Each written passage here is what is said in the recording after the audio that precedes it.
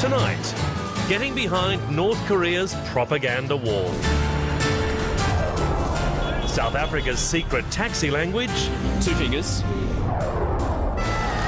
And leading Lebanon. David Hardacre interviews Prime Minister Siniora. I am soft in my words, but very firm in my positions. Hello and welcome to Foreign Correspondent. I'm Stephen McDonell in Hong Kong. This week it seems there's been some good news from North Korea. After months of wrangling, the isolated regime has decided it will allow international nuclear inspectors back into the country. Whether this means it's actually preparing to give up nuclear weapons as promised, it's too early to say. After all, we are talking about North Korea, where nothing is certain, as you'll see from tonight's story.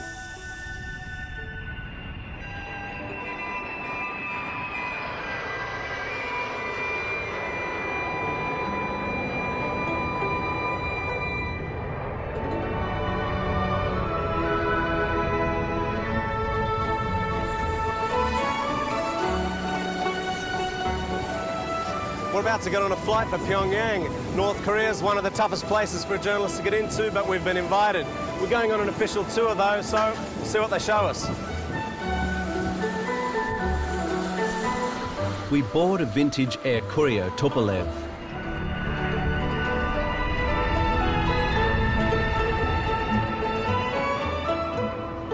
The propaganda is soon at hand. North Korea apparently owes it all to former leader and still godlike figure Kim Il sung. The only other significant contributor has been his son and current leader, Kim Jong il.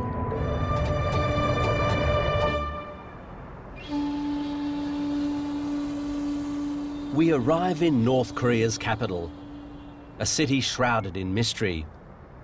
Pyongyang is North Korea's showcase, with boulevards, monuments, grand government buildings, and signature traffic police.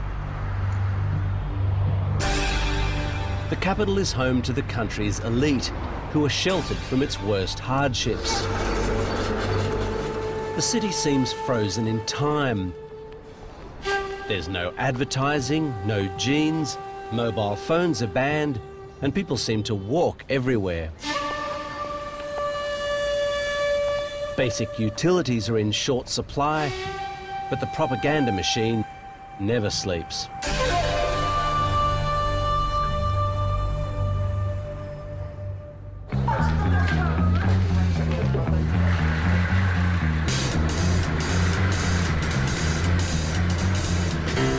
It's day one of our four-day express tour.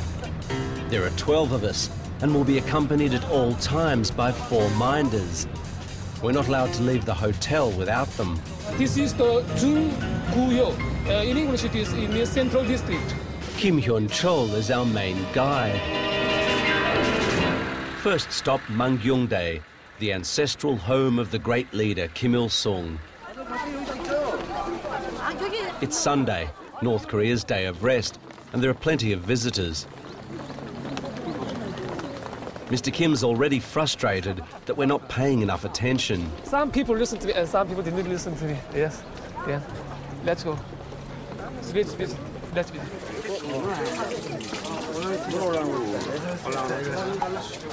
Visitors enthusiastically drink from the great leader's family well. Not bad. it's very cold. I also drink the water of this well every time I came here because the well was used by the family of President Kim Il-sung. And the photos on its both sides show his father and his mother. So The people who are permitted to guide us are chosen for their loyalty and for their understanding of the system and its position on matters, and they are supposed to be representatives of that position. Joining our tour is American journalist and author Bradley Martin. This is his sixth trip to North Korea in the last 18 years. Having written a book about the personality cults of Kim Il sung and Kim Jong il, he's a little surprised he's been allowed back in. Americans basically are not welcome here in general. The only way I've been in in recent times is as a tourist. And this is a country that's based on propaganda. And what they show us on these tours is propaganda. So uh, I come here and I gratefully receive the latest uh, installment of the propaganda and I try to see what's changed.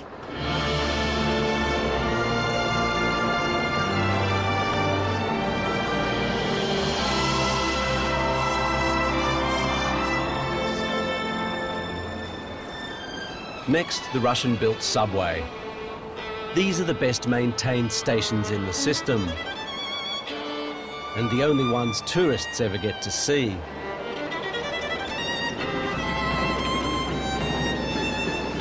Pyongyang's Underground Railway was built in 1973. And how important is it to the life of Pyongyang, the subway? Is uh, I I know that fifty thousand people use this metro every day, so it plays a good role in transportation delivery.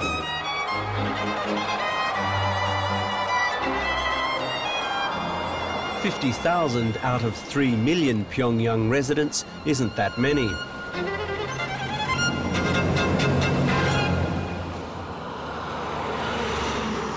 The vast majority of people either walk or use the trams and buses.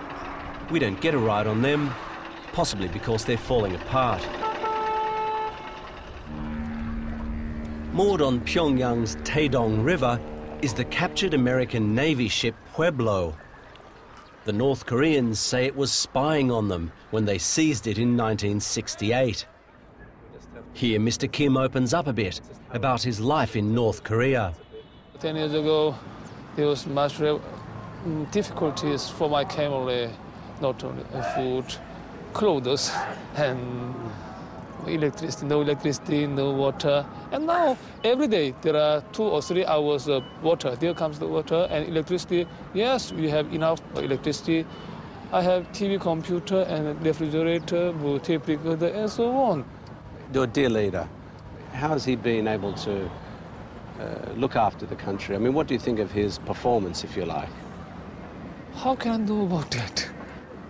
Your question is something, there is something strange. How can I know about his, our leader's idea? How can a common person know the great and deep idea? That's the, I can't know.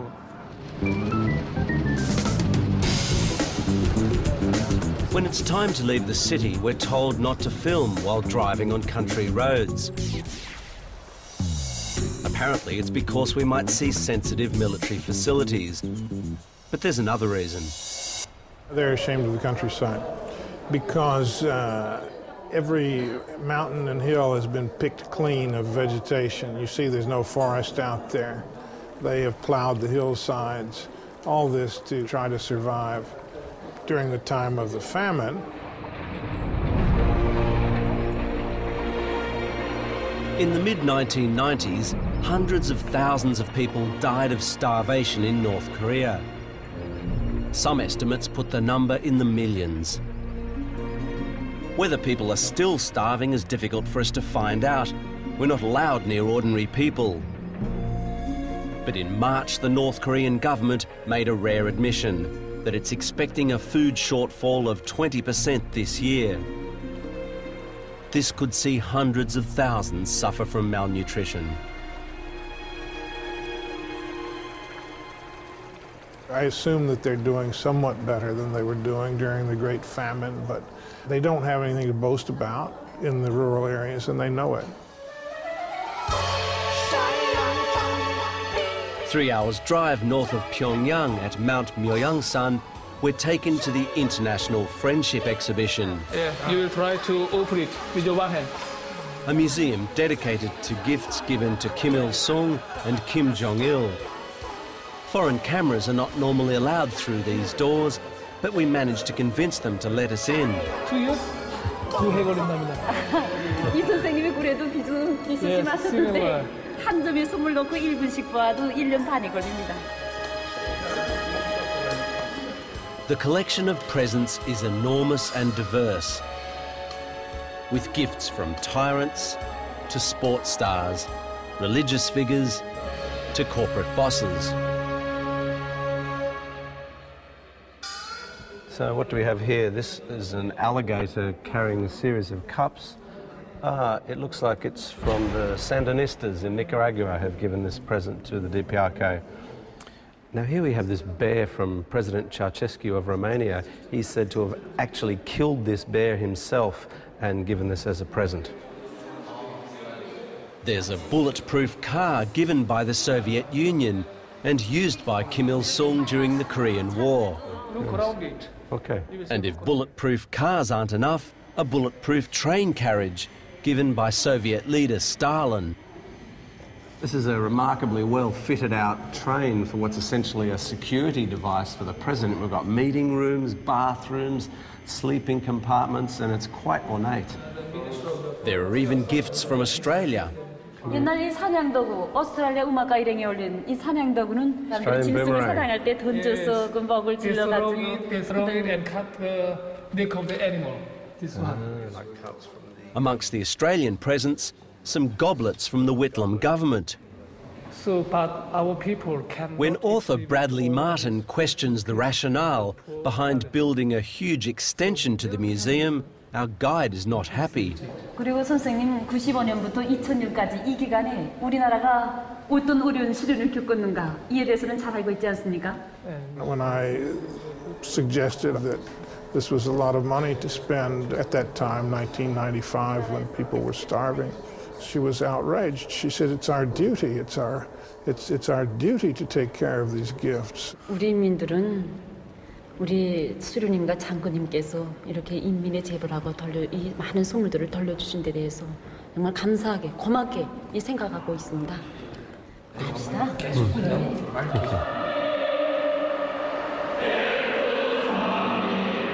Back in Pyongyang, performers warm up for North Korea's mass gymnastics spectacular. It's the centerpiece of the Arirang Festival, with 100,000 performers.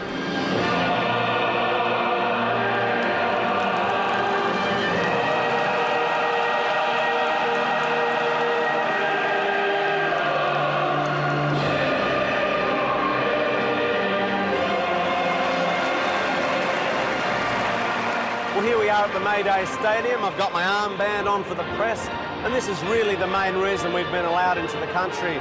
The North Koreans are very proud of the Arirang Festival, and it is quite spectacular.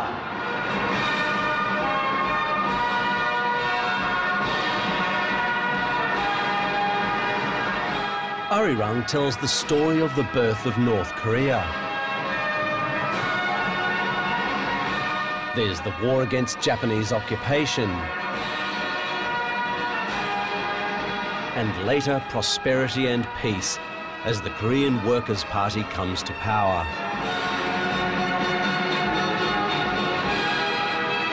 The exploits of great leader Kim Il sung and dear leader Kim Jong il are central to everything.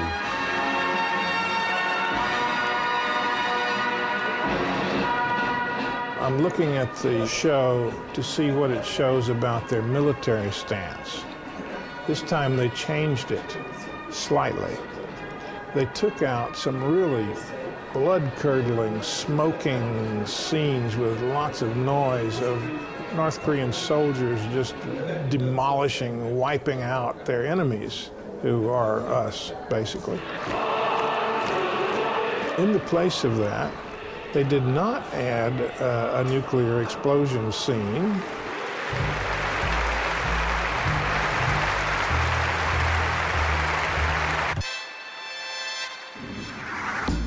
Back in the bus, the performance sparks a discussion about the causes of the Korean War. Bradley Martin suggests it was North Korea which started it. I can't stand that. Frankly speaking, sorry, but I can't stand that. If you see that word in our country anymore, then I can't secure your he- your life Oh my in this on this land. Oh, that's frightening. That's fine. Frightening, frightening. Ah, that's fine. If I sat down and told them, well, you know, the Russian archives have opened up, and it says right there uh, Kim Il sung went to Stalin three times asking for permission to invade the South, and finally Stalin said, yes, I'll help you, so let's do it. They would not believe me. They simply would not believe me, and they would have no basis for believing me. It's just not within their realm of experience to believe such a thing. If you are right, let's begin the war just now between Korea and the U.S. I don't think that you could right. Why the U.S. Army is in Korea, is in South, is in the South Korea? Why? Why? Why? Why? South Korean people want it there right now. They don't want it. You made the worse. You made it. You U.S. Uh, aggressors made it. They call me anytime. Thank you, sir. Thank you very much. Thanks for the evening. Thank you.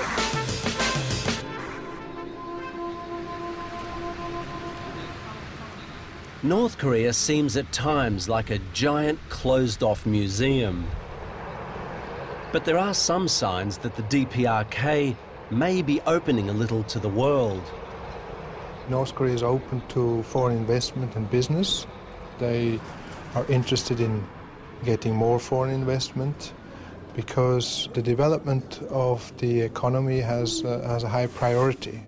So the first one, that's, that's an, uh, an antibiotic. Swiss businessman Felix Abt runs a pharmaceutical joint venture in Pyongyang. This is aspirin.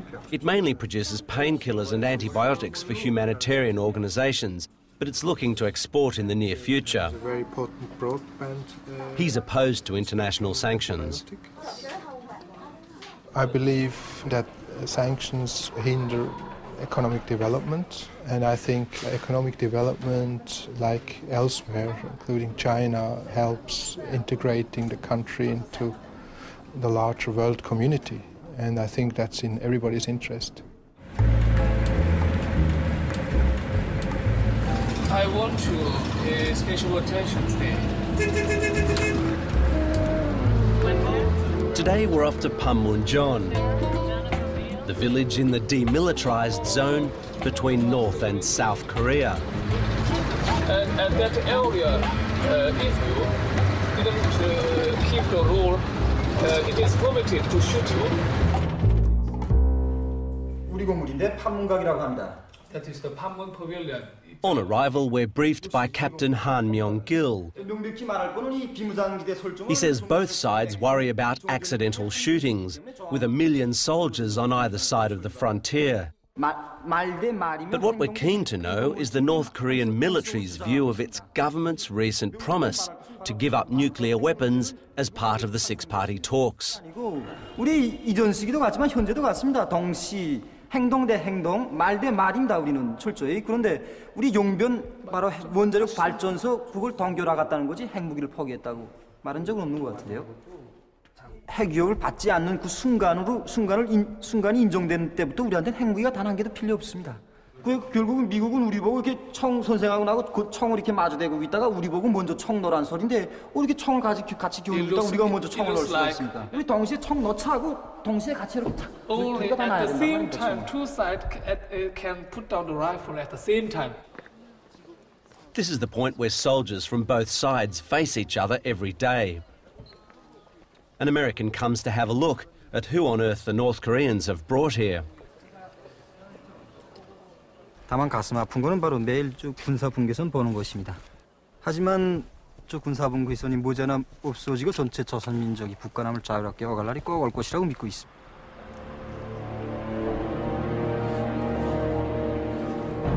Captain Han told me that the lesson of Iraq is that a strong country can defend itself, but a weak one will be beaten down.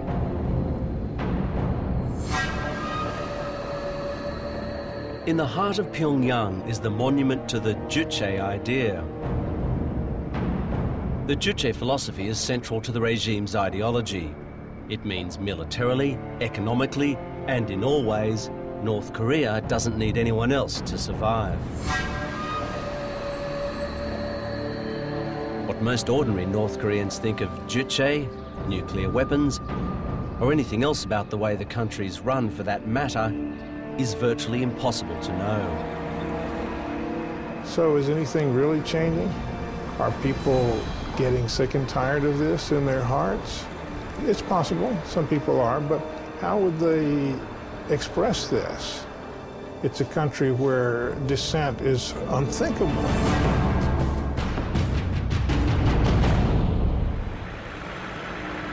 As we prepare to leave the country, Mr. Kim wants to end on a good note. Especially our professor, I'm so sorry. I'm so, so sorry. Again, I say, you did a good job. Despite their differences, Mr. Kim says he respects our author and wants us all to come back. On behalf of the all members of our Korea International World Cultural Company, yes, that's definitely.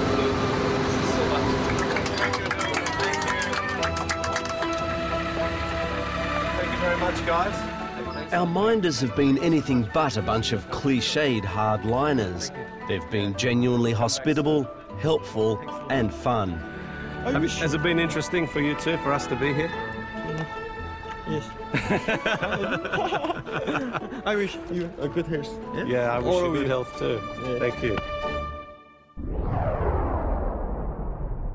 Hello, I'm Andrew Geoghegan in Johannesburg, which is notorious for its transport chaos.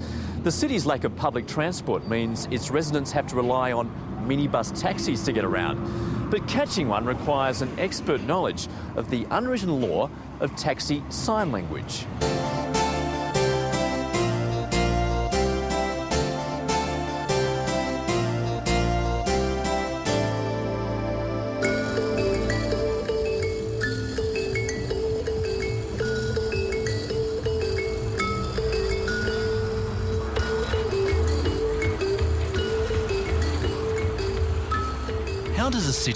8 million people keep moving?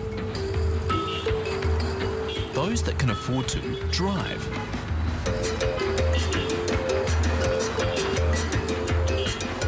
For those that can't, and millions of mostly black residents who commute daily from the townships certainly can't, there's only one option.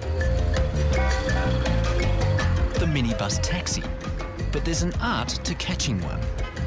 Thumbing a lift won't get you anywhere. You need to be proficient in taxi sign language.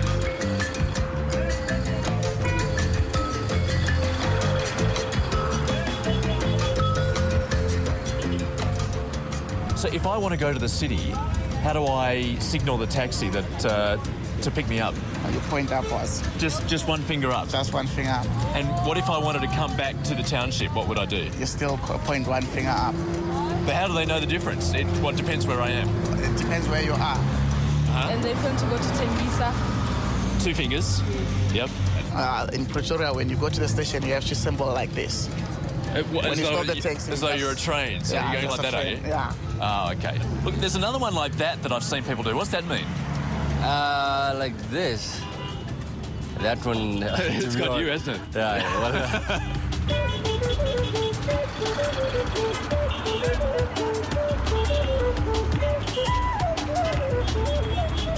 Johannesburg is overrun with minibus taxis. 50,000 of them. They're both a curse and a cure. While keeping the city moving, they can also bring it to a grinding halt. They follow their own set of road rules, stopping wherever and whenever, failing to indicate, and travelling at any speed. Car drivers think they're the scourge of the streets. They suck. They drive us off the road and cause accidents. Don't get me started. Rude, they don't obey the traffic laws, and they get away with a lot of things. I've learned to live with it. No, they have to move the nation, huh? Somebody has to do it. I still wasn't confident about how to catch one of these despised necessities. It was time for some advanced tuition. Okay. This is town. Town. But does it does it matter which finger? This one. Right. Okay. and then this is local. If you want to go to Santin, Sandton. Yes. And and that's just what five fingers out, is it? and this this one What's that? five. Uh, Randburg. But what if you wanted to go and see your friend who was across town? How would you do that? You went down, then you take another taxi. Okay, so you got to catch taxi to taxi and. If you want to go to Diepsloot, yeah, you have to do your And, and why is it that? I don't don't know, which means you have to, I don't know what does this thing means. You have to do like this. And then if you're going to main lane, you turn it like this. Turn. Yeah. Rubber Ridge. What, what's that? Rubber Ridge. Rubber Ridge. I can't even pronounce it, so I probably won't be going there.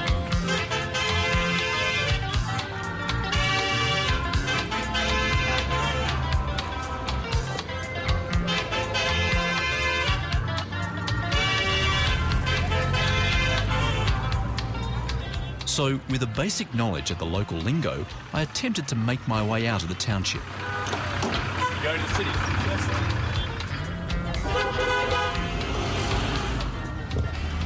So, did you have problems understanding where I wanted to go when I held the finger up? No, I don't have a problem because you know what? So if you're, you're pointing up, I know the law. That, that person is going to town. Many people, they are, they, they, they are relying on taxis because the taxis are so cheap and they are so fast. Right on 105.8 FM on Studio 8 is exactly 18 minutes after the hour 10 o'clock right here on Jozi FM. Well, this one we call it. Colin Ramadike has been driving taxis for the past 10 years. And how many passengers a day do you think you pick up? Uh, plus minus four to 500 per day. Really? A day? Yes. So, is that good money? Yeah, it's, it's a good money. To service that many passengers, Colin Ramadike needs to bend some rules. You must drive uh, in other way. Okay, you're saying perhaps drive aggressively, but not recklessly. Recklessly. Yeah. You say drive recklessly? Yeah. it's how to make money that way. If you're going to drive straight and doing the maybe using the the, the law, will never work.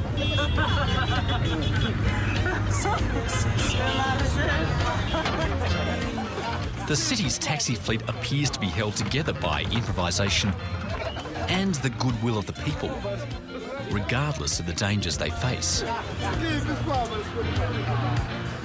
And frankly, there's not much option. Waiting for the local bus feels like an eternity. Maybe I should have stuck with Colin.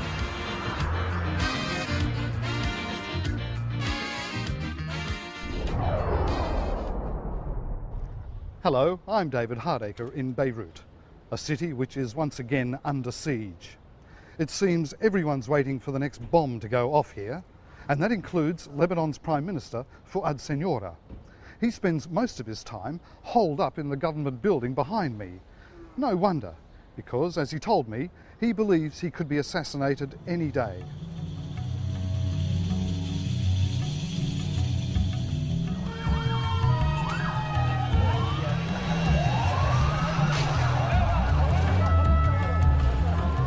Another anti Syrian politician killed last week. A powerful car bomb on the Beirut seafront. It was an echo of the assassination two years ago of the former Lebanese Prime Minister Rafik Hariri. He was killed by a massive bomb blast. It shook Lebanon to the core.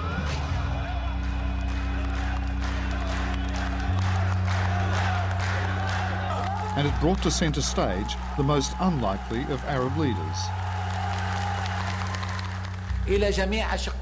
Fuad Siniora, a banker, a close friend of Rafik Hariri, and a man fond of Arab poetry.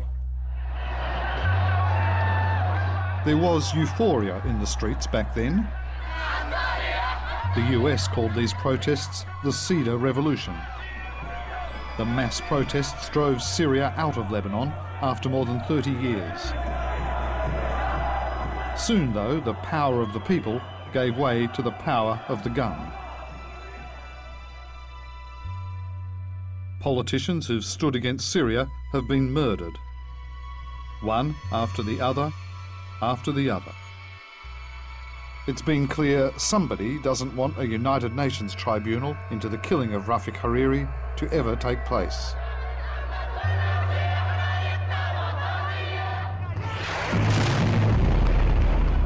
Fuad Siniora, though, faced even more pressure. Almost 12 months ago, Israel launched a savage retaliatory attack on his country. The leader of Hezbollah, Hassan Nasrallah, had authorized a cross border attack on Israeli soldiers, taking two as hostages. The 34 day assault brought Fuad Siniora to breaking point when he addressed his Arab League brothers. Lebanon has been rebuilding, but Fuad Siniora's relationship with Hezbollah has collapsed.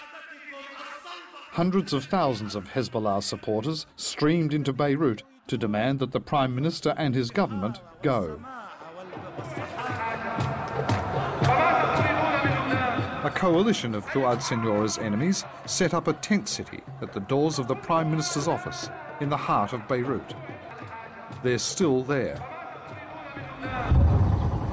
A new front in Fuad Siniora's battles opened in the north of the country.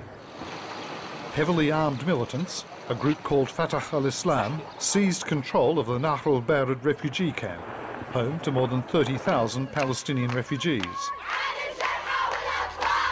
Fatah al-Islam too has demanded the overthrow of the Siniora government, and they vowed a fight to the death with the Lebanese army.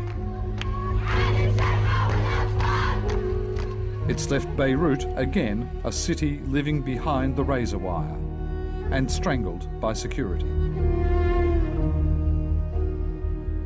I recorded my interview with Fuad Siniora just before the last assassination in Beirut.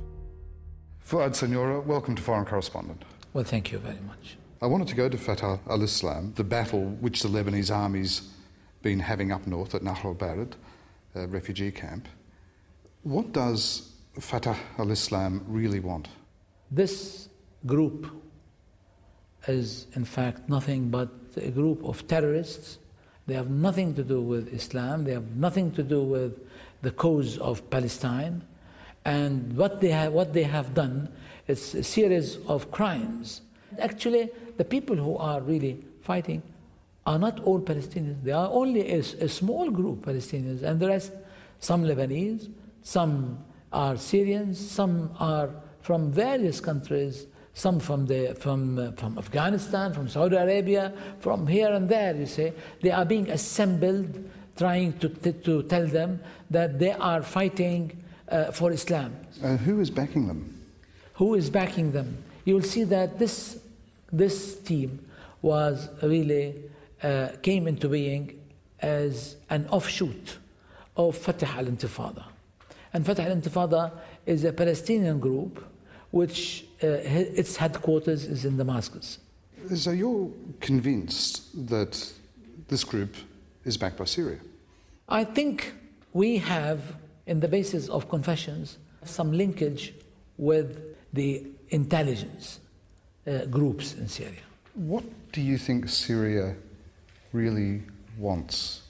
Are they trying to accumulate cards to trade with the number of uh, the cards they hold that they would trade with the West for some favourable conditions? Let me start by saying, let me tell you what we want, first of all. We want very good relations with Syria. And we don't want to be a source of headache to Syria. The same, the same thing, we don't want any headache that comes to us from Syria. So this is what, what, what do we have? We have an issue that some people say that this is, this is considered to be a way of uh, uh, an unfriendly, unfriendly thing towards Syria, which is the International Tribunal. You say you don't want to be a problem to Syria, yes. but the mere supporting of this tribunal is the problem, isn't it? Yes.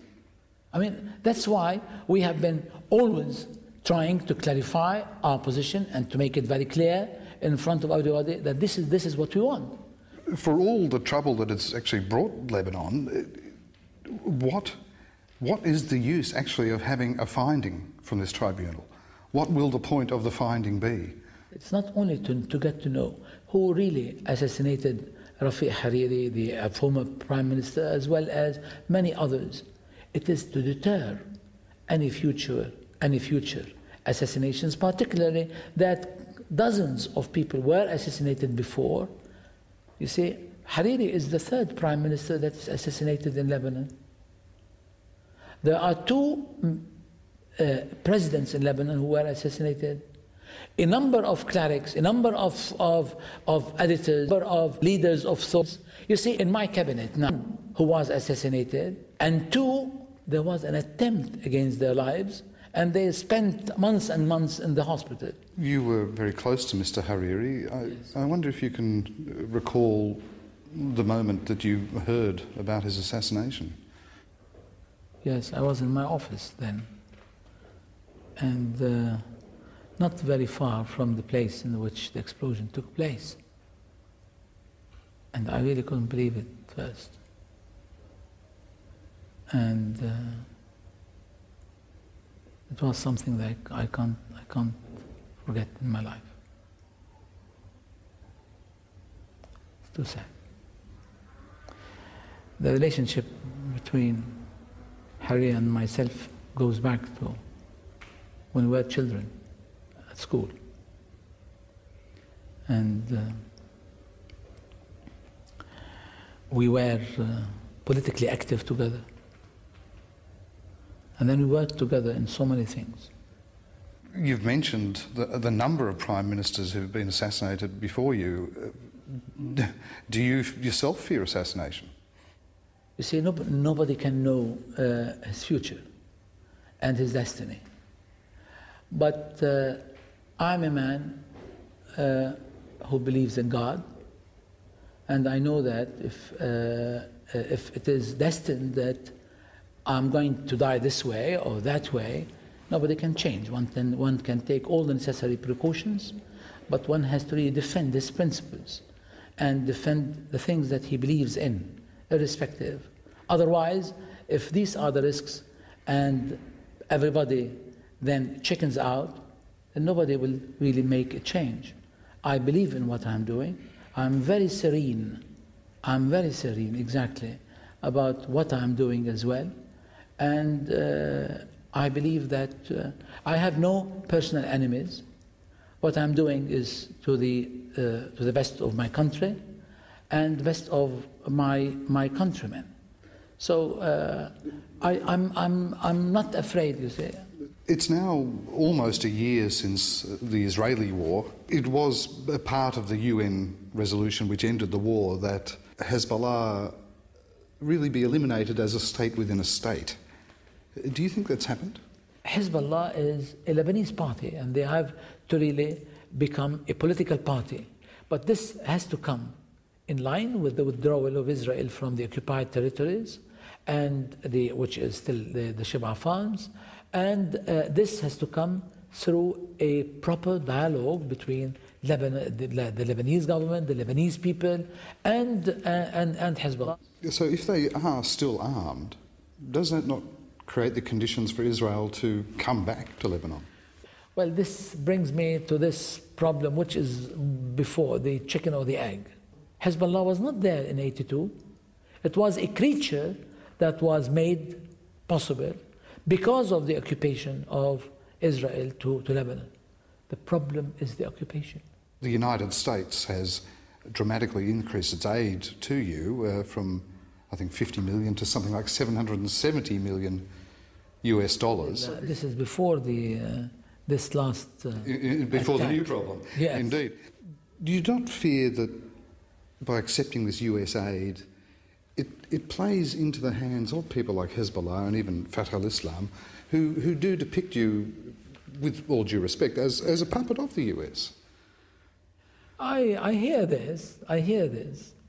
I really, uh, yani, I give it with a big smile. Everybody knows my history. I don't have to really tell everybody about my history. Everybody knows that. Everybody knows how much I really work for my country. What sort of pressure do you feel as being a, a Muslim leader, a Muslim who is a leader? Well, I, yes, that's, that's, that's better, yes. who, is, who is friendly with the United States in a country where there is a religious, for want of a better word, fundamentalism so against the West. What sort of pressure does that put you under? I'm very serene with myself, extremely, yeah. No, no, no, no, don't, don't, don't worry at all. And I have been a prime minister for about uh, 22 months now. And uh, I am soft in my words, but very firm in my positions. Mr. Siniora, thank you very much for speaking with Foreign Correspondent. Thank you very much. And that's the program. Hello, I'm Emma Griffiths in Kazakhstan. These waters are home to one of the most expensive delicacies in the world, but it may be about to run out. And this is how it's eaten here. On a piece of black bread, you spread it on, a little like we would Vegemite back home.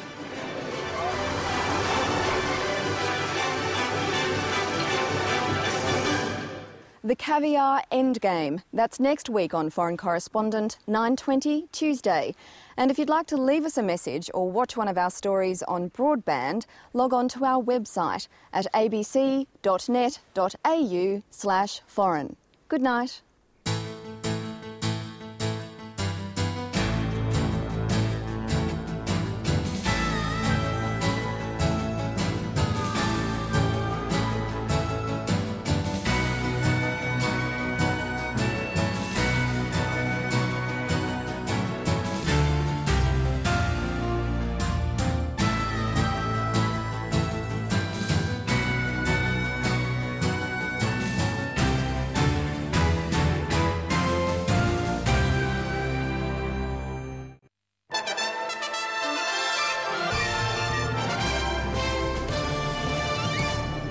Hello, I'm Catherine Stolarchuk. Senior naval officers could face criminal charges over the fatal crash of a Sea King helicopter in Indonesia two years ago, which killed nine Australian Defence Force personnel. An inquiry into the crash has delivered a damning report finding gross deficiencies in the Navy's aircraft maintenance system. The Queensland Police Union has gone on the attack over the decision to prosecute the officer at the centre of the Palm Island death in custody case. Not content with the acquittal of Senior Sergeant Chris Hurley, the union has launched an advertising blitz accusing the Queensland Premier of political interference. And construction union official Joe McDonald has been suspended from the Labor Party for abusing an employer at a Perth building site. He's defended his actions, saying the building site where he was filmed was plagued with safety problems. And that's ABC News.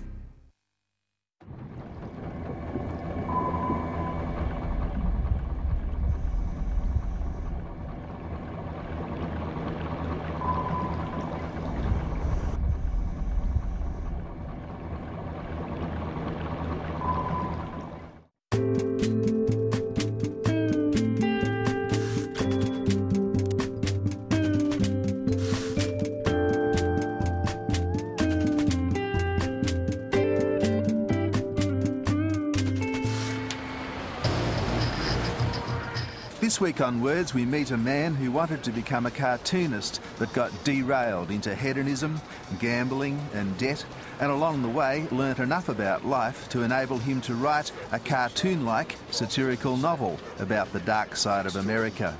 DBC Pierre. That book, Vernon God Little, went on to win its author, DBC Pierre, the 2003 Booker Prize. As Lloyd Bridges famously said, I think I picked the wrong week to give up sniffing glue. DBC Pierre was born Peter Finlay, but a school friend nicknamed him Dirty Pierre after a cartoon character. And later on he became DBC, Dirty But Clean Pierre.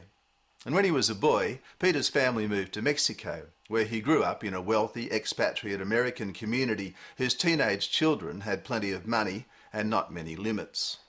And when Peter was still a teenager, his father became ill and died, and Peter went off the rails into a life of drug taking and thrill seeking on the fringes of crime.